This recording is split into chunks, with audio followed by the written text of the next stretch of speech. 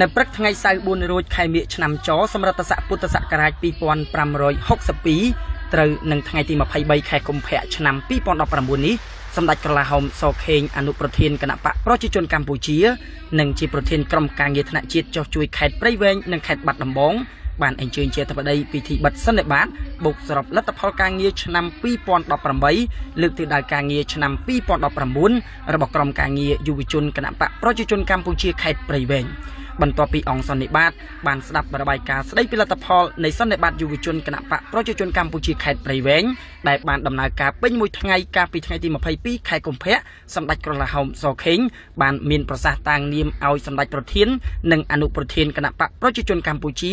កោតសរសើរក្រុមការងារយុវជន និងសប្បុរសជននានាដែលបានរួមគ្នាសហការបំពេញសកម្មភាពទទួលបានលទ្ធផលយ៉ាងល្អកាលពីឆ្នាំ2018សម្ដេចក្រឡាហោមសខេងបានណែនាំឲ្យក្រុមការងារយុវជន និងសមាជិកសមាជិកាគណៈបករួមគ្នាបន្តទៀតក្នុងការបំពេញការងារអធិភាពតាមការដាក់ចេញដោយសន្និបាតលើកនេះហើយសម្ដេចមានការជឿជាក់ថាសប្បុរសជននានាដែលធ្លាប់សហការផ្ដល់ការគ្រប់គ្រងដល់ក្រុមការងារយុវជនគណៈបកនាពេលកន្លងមកនឹងបន្តការគ្រប់គ្រងនេះបន្តទៀតជាពិសេសពាក់ព័ន្ធនឹងការចូលរួមកិច្ចការសង្គម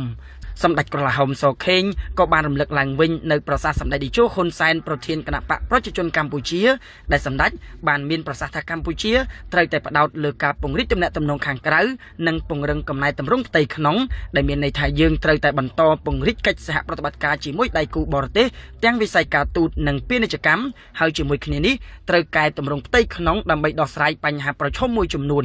ដោយសារក្នុងសន្និបាតមានការចូលរួមពីសមាជិកសមាជិកាដែលមានទួនាទីជាថ្នាក់ដឹកនាំខេត្ត ក្រុងស្រុកនិងឃុំសង្កាត់សម្ដេចក្រឡាហោមបានក្រើនរំលឹកជាថ្មីទៀតអំពីវិធានការដោះស្រាយទំនាស់នៅតាមមូលដ្ឋានដោយបញ្ជាឲ្យបាននៅការប្រើអំពើហិង្សាពីសំណាក់កម្លាំងអាជ្ញាធរនិងត្រូវជៀសវាងដាច់ខាតតែម្ដងការប្រើកម្លាំងកងទ័ពមកអនុវត្តដោយការតុលាការឬដោះស្រាយបញ្ហាវិវាទណាមួយជាការកត់សម្គាល់សម្ដេចក្រឡាហោមក៏បានក្រើនរំលឹកសមាជិកសមាជិកាគណៈបកដែលមានតួនាទីជាមន្ត្រីសាធារណៈទូទៅត្រូវបំពេញការងារឲ្យបានល្អ